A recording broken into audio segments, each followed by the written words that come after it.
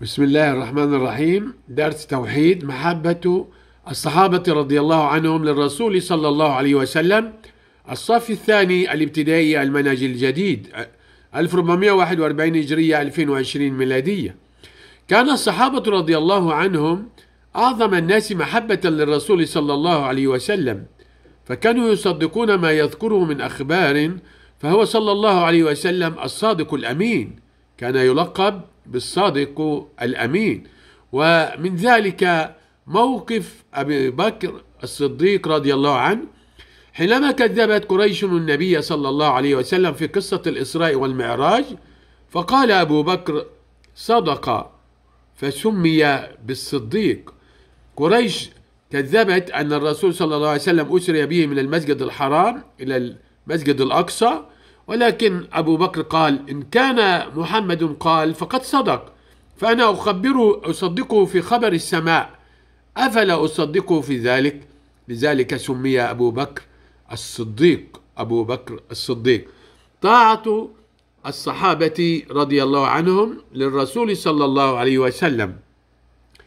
كان الصحابة رضي الله عنهم يطيعون الرسول صلى الله عليه وسلم فيما يأمرهم به. ومن ذلك موقف علي بن أبي طالب رضي الله عنه حينما طلب منه النبي صلى الله عليه وسلم أن يبيت في فراشه ليلة الهجرة ويرد الأمانات إلى أهلها ففعل ذلك. لو جاي يسالنا يقول لي إيه؟ ما اذكر موقف يدل على تصديق الصحابة للنبي صلى الله عليه وسلم. أقول موقف أبو بكر الصديق في الإسراء والمعراج حينما كذبه المشركون ولكن أبو بكر قال صدق فسمي بالصديق. طب لو قالوا لي عاوزين موقف فيه طاعة للرسول صلى الله عليه وسلم أقول موقف علي بن أبي طالب حينما طلب منه النبي صلى الله عليه وسلم أن يبيت في فراشه ليلة الهجرة ويرد الأمانات إلى أهلها ففعل ذلك ونام علي بن أبي طالب.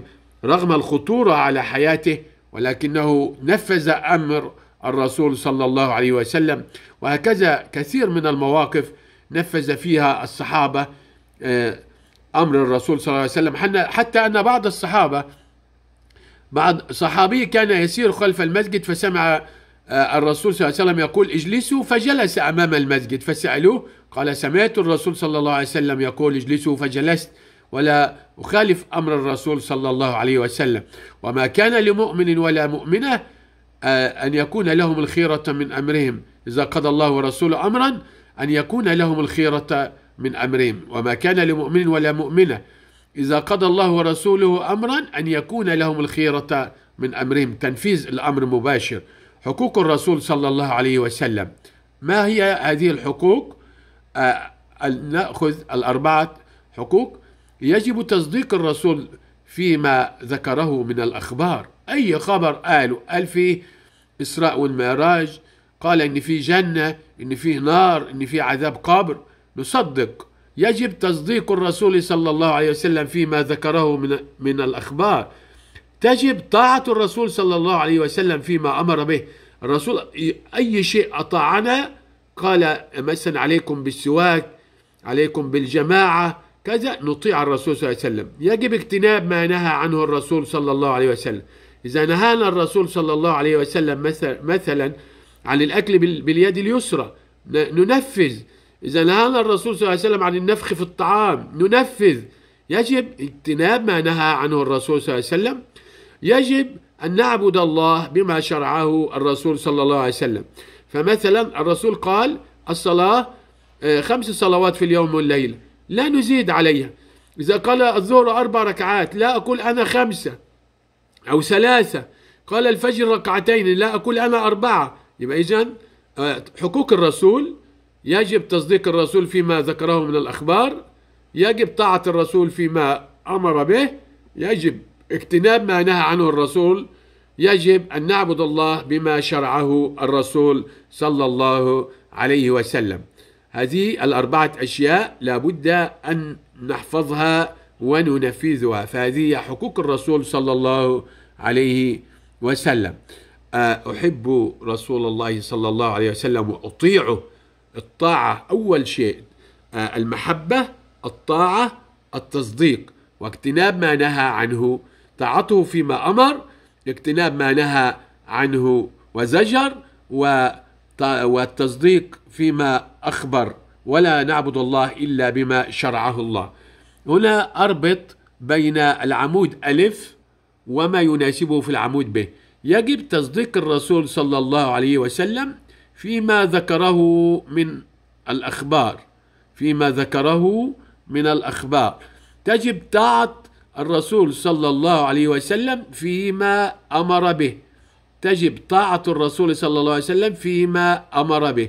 يجب اجتناب ما نهى عنه الرسول صلى الله عليه وسلم.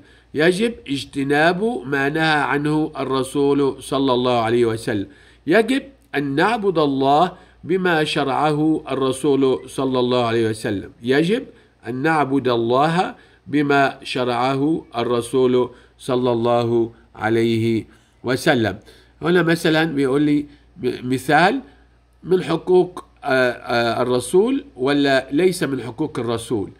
هنا نشوف تصديق الرسول صلى الله عليه وسلم عندما قال أسري بي إلى بيت المقدس. هذه من حقوق الرسول.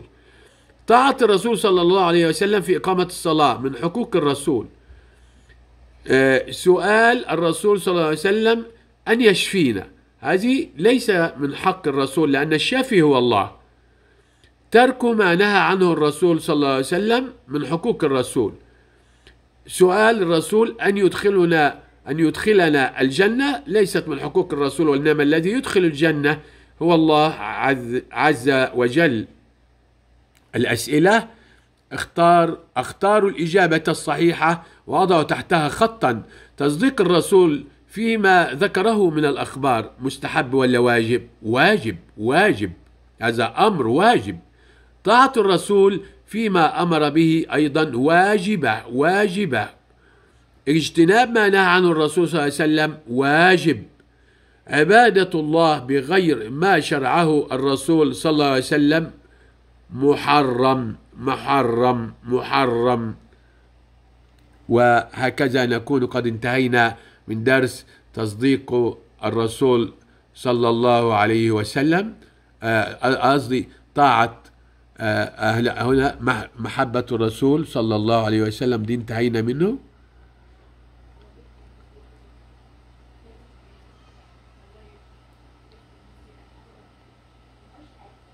إذا درسنا كان بعنوان محبة الصحابة للرسول صلى الله عليه وسلم. محبة الصحابة للرسول صلى الله عليه وسلم. وفي الختام لا تنسوا ال like. كثير من الناس يشاهدون الفيديو ويستكثرون علينا ال like مع المجهود الذي نبذله. فلا تبخلوا علينا بال like والاشتراك في القناة.